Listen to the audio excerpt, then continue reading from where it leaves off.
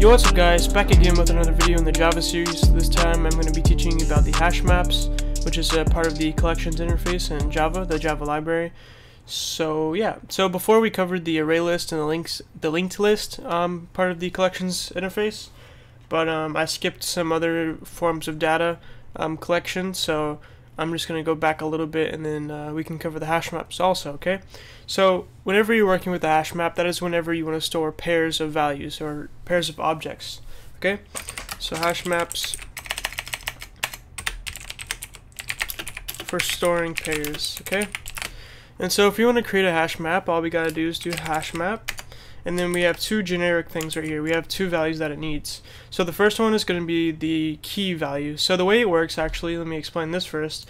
Whenever you have a pair, um, or a hash map pair, it works like this. You have a, it's called a key value pair. So on the left side, you're going to have a key, and each key has a corresponding value. Okay, so that's going to be each entry into the hash map is going to be a key value pair. Okay, every pair needs a key and a value. Okay, and so whenever you get the key of a hash map, that means you're going to also get the value. So it's a way for you to grab the value by using the key. You'll see that in a second, okay? But just remember, it's a simple concept. It's just key value pairs, okay?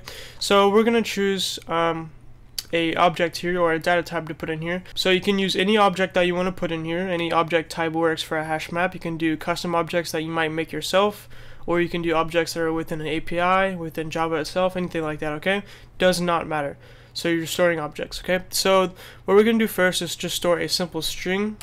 So string, and then after that, let's store um, a long, okay? Because we're going to make a phone book, okay? That's going to be our example. We're going to make a phone book where people can store phone numbers for each person, okay? So let's do phone numbers, like that, okay? And then after that, all we got to do is new hash map so it's very similar to the linked list and the array list, except that you can uh, define two value types instead of one, because we're going to be storing pairs, not single values, okay? So for the key of our um, hash map here, those are going to be strings, right? And then for the values of our keys in our, in our hash map, that's going to be a long, okay? So yeah, that's how it works. And so let's say we want to add something to our hash map, uh, you know, a new value. All we got to do is do phone numbers dot and then put. So we're going to put a new key value pair. So the first thing it wants is a string key because strings are key data type of course, our, our object that we're using at least. So first let's just make up something. So we're storing phone number, so let's give it a name. So Bob, and then we're going to put Bob's phone number right here. Okay, we're just going to make up something random. It doesn't actually matter. It's just for testing purposes. So make sure you have an L on the end because that's how it knows that you're using a long. So now that we did that, we're just going to do store a new key value pair into our phone numbers hash map with the value or the key of Bob and then the value of 21312312313L. Okay, it's a long, right? So that's how you store a single value or a single um, a pair really. And then after that, if you want to get the value from a key, if you want to search our hash map for a certain value, all you got to do is have the key, and you're like you need to know the key beforehand, and then you could print it out. So let me show you an example. So C out I mean S out. I'm not using C++. So S out, and let's do phone numbers dot get. And as you can see here with get, the parameter that it wants you to provide is a object key. So we need to provide the key, and that what that's going to do is provide a long, and that's because our value is the long data type. So whenever you provide a key using the get um, method here, that's going to return the value or whatever object the value corresponds with. Okay. So that's how that works, pretty simple. So if you do Bob here, that means it should respond this number into the console. We should be able to print that out. So let's run this and see what happens. Alright, so we get 213, Awesome, okay? And if we want to add some more values to our hash map here, all we gotta do is keep doing put. So put, let's say Robbie, and we can make up some numbers here, L, there we go. Phone numbers, put, we'll do Ricky, um, there we go. Just like that. And so now we have three pairs of key value pairs in our hash map here, okay? So let's say we want to, um, well, let me show you how to print out a, a hash map into the console if you ever want to see what a hash map contains. So the only way you could really do that that I've seen is by converting it to a set.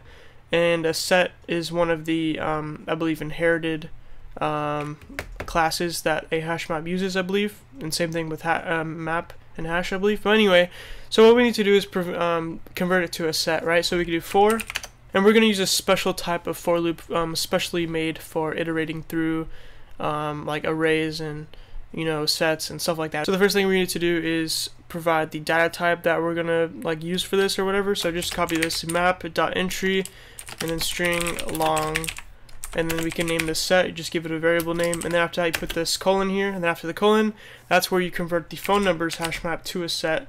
So to do that, you just do entry set. The entry set, the entry set method is going to, if you do control Q, it's going to return a um, a set view of the mappings contained in this map, right? So a set basically, right? So what this is going to do is iterate through the set that we just created, basically. So now if we want to uh, print out the key value pairs for a hash map, we can simply do something like this. So set dot get key, which is going to return the key, um, you know, for the whatever iteration we're on, right? Plus boom plus set dot get value. So we can get a key and then get a value just like that and let's see what happens.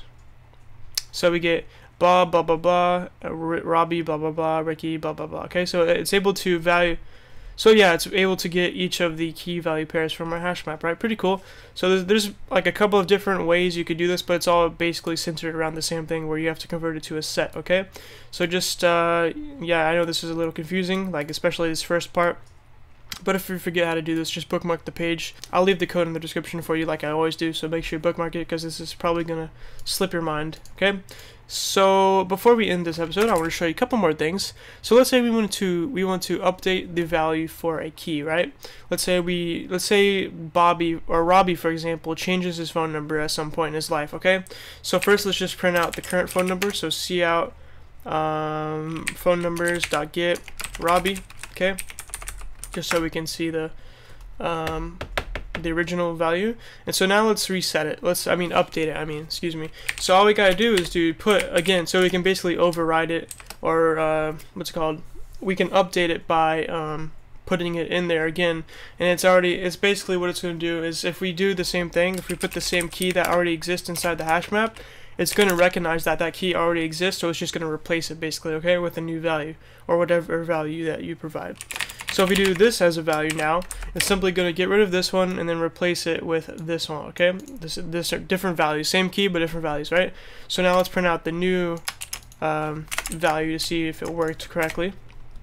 So print that out, see what we get, and we get, uh, let's see, where's that? Robbie, okay, right here. So that's the original Robbie value, and then after that we get this one right here, okay? Pretty simple.